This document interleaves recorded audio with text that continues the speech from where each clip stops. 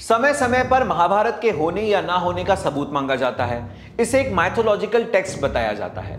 विदेशी ताकतें ही नहीं, बल्कि भारत में भी ऐसे लोग मौजूद हैं, जो महाभारत, इसकी कहानी और इसके पात्रों को मिथक बताते हैं। ये सभी लोग अंग्रेज़ों द्वारा बनाई गई आर्यन इन्वेजन थ्योरी को सही मानते हैं। इनका मानना है कि नॉर्थ इंडिया में आर्यों का एक समूह आया, जो यूरोप से आया था। ये लोग हथियार बनाना और चलाना जानते थे और योद्धा थे। इनका यह भी मानना है कि यूरोप से आए इन्हीं आर्यों ने भारत की संस्कृति को एक नई पहचान दी। लेकिन सबूत सबूत कोई और ही कहानी बताते हैं और आर्यन इन्वेजन थ्योरी को पूरी तरह से गलत साबित करते हैं। अब हम बात करते हैं उन सबूतों की जो महाभारत की कहानी इस ग्रंथ को सही साबित करते हैं। ये बताते हैं कि ये एक हिस्टोरिकल फैक्ट है। ये सबूत मिला उत्तर प्रदेश में बागपत ज़िले के सिनौली गाँव से, जहाँ एएसआई यानी आर्कियोलॉजिकल सर्वे ऑफ़ इंडिया ने खुदाई की।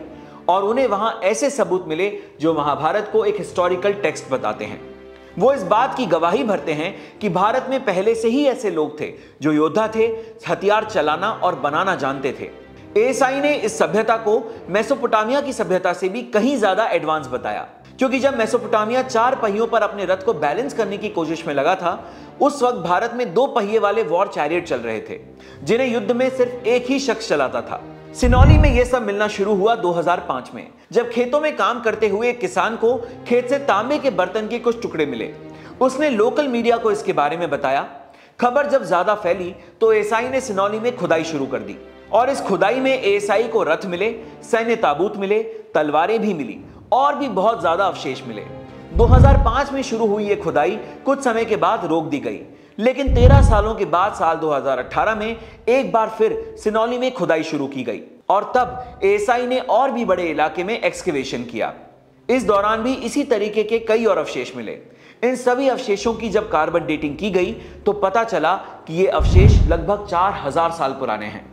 सोनाली एक्सकवेशन में जो चीज़ें मिली, वो इतनी महत्वपूर्ण थी। तीन चैरियट मिले और पाँच कॉफिन बरियल मिले उसके अलावा दो शील्ड मिले और पाँच तलवारें मिली। ये लगभग 1900 से 2000 बीसी की ये तलवारें हैं और साथ साथ शील्ड का, तलवार का और रथ का मिलना ये दिखाता है कि यहाँ जो उस समय 2000 2100 से लेके और उसके पहले एक ऐसा क्लास जो वॉरियर था जिसकी चर्चा लगातार चाहे रामायण हो महाभारत हो वेद हो दशराग युद्ध की बात हो आ, कहीं भी आप किसी भी ग्रंथ में अगर लेंगे तो वॉरियर की चर्चा होती सिनौली की इस खुदाई में शाही ताबूत ताबूतों के साथ रथ धनुष बाण तलवार युद्ध में पहने जाने वाले हेलमेट ऐसी ना जाने कितनी चीज़ें मिली जो ये साबित करते हैं कि ताबूतों में रखे हुए शव योद्धाओं के ही हैं। ताजुब की बात यह है कि एसआई के मुताबिक सिनौली में पाए गए ये सभी अवशेष स्वदेशी हैं। मतलब इनमें से कुछ भी, कोई भी हथियार, कोई भी रथ बाहर से नहीं, बल्कि भारत में ही बनाया गया।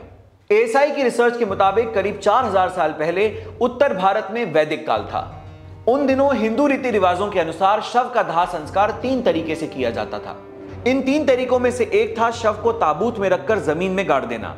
ताबूत में रखकर ज़मीन में गाड़ने की यह परंपरा राजा महाराजाओं में होती थी।